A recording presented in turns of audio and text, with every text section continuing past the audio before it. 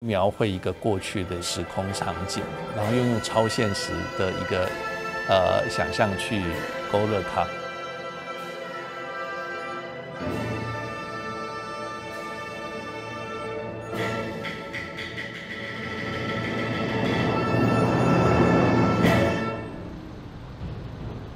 很多人都不知道曾经大道城驿就大道城车站这个的存在。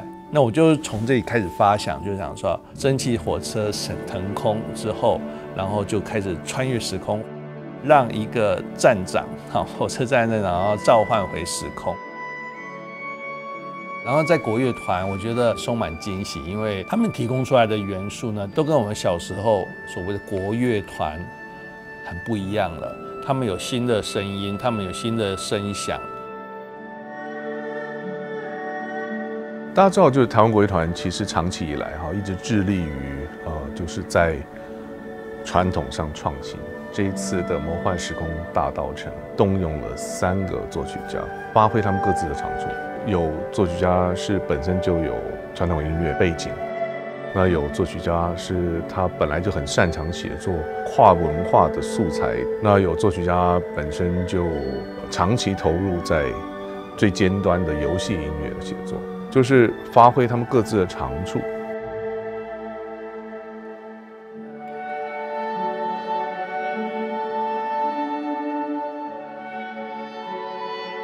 那这一次又更别开生面，就是竟然是跟新马戏。我想这次的制作，它不仅仅是在音乐上会非常精彩，然后那在视觉上，呃，也会非常的丰富，因为有这个新马戏元素的加入。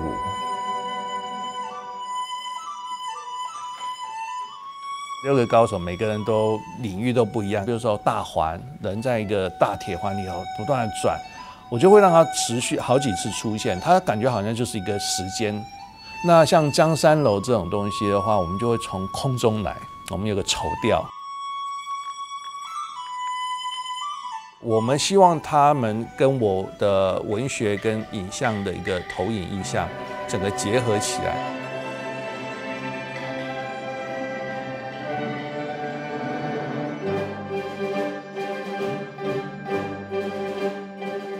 魔幻时空大道城是一个对于时间想象的一个音乐剧场的演出，新马戏的加入啊，更是有三位很棒很棒的作曲家来谱写音乐，又热闹又好听，然后又充满新奇，会非常非常的精彩。欢迎大家来魏武营看我们这次的演出。